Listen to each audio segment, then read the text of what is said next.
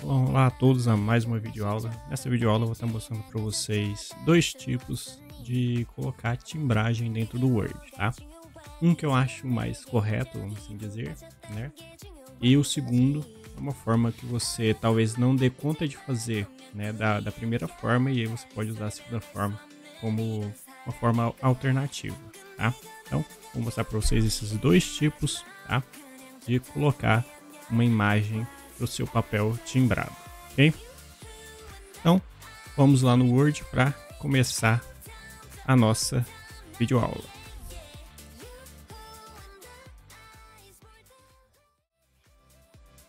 Bom, aqui no Word a gente já vai começar colocando, né, um documento em branco. Então tá aqui a minha folha, onde vai ter a imagem timbrada. Tá? E o primeiro modo que eu vou mostrar para vocês, que é o modo que eu acho mais correto, né? É, é utilizando o, o design. Se eu vim aqui na guia design, eu vou ter uma opção, que é inclusive para colocar marca d'água. Então, ó, vou clicar aqui em marca d'água. Vou vir aqui, ó, personalizar marca d'água. E aqui, ó, vou ter três opções: sem marca d'água, com marca d'água de texto, né? Ou marca d'água de imagem. É esse que a gente vai colocar. A gente vai colocar para não desbotar, né? Para não tirar a cor da imagem. A não ser que você queira, né? Desbotar e você deixa marcado, tá? Mas aqui eu vou desbotar. Eu vou desmarcar ou desbotar. Vou vir aqui, ó, em selecionar imagem. Vou falar que é uma imagem do meu computador.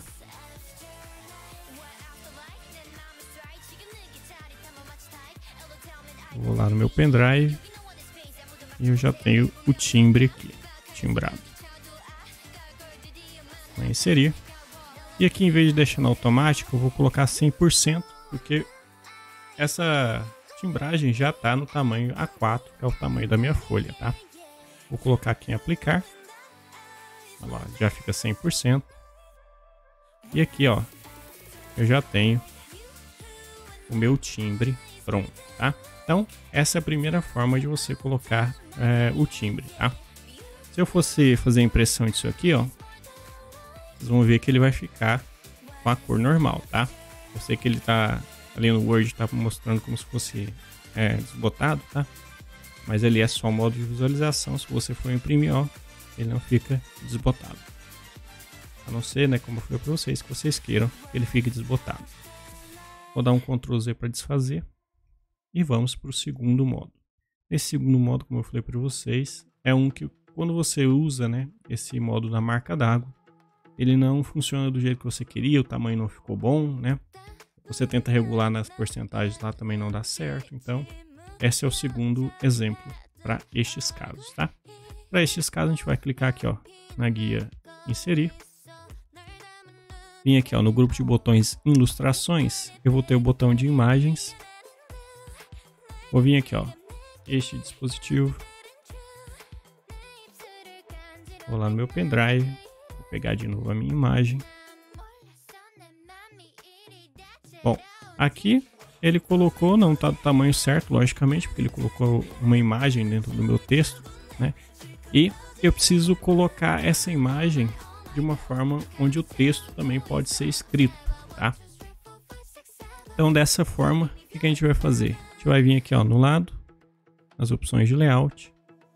Ou você pode vir aqui ó, na guia formatar, no, na guia formato de imagem e vir aqui ó, na quebra de texto automático, tá? Eu vou vir aqui, é mais prático. Eu vou falar que minha imagem vai ficar ó, atrás do texto, porque o texto vai ficar na frente dele, tá? É isso que a gente quer para o nosso papel timbrado. Quando eu fizer isso, ele já habilita também, ó, para você redimensionar. Então você já vai posicionando, né? E redimensionando o seu papel.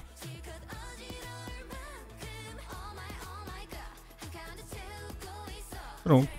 Já tenho aqui também o meu timbre, tá? Vou clicar fora, ó.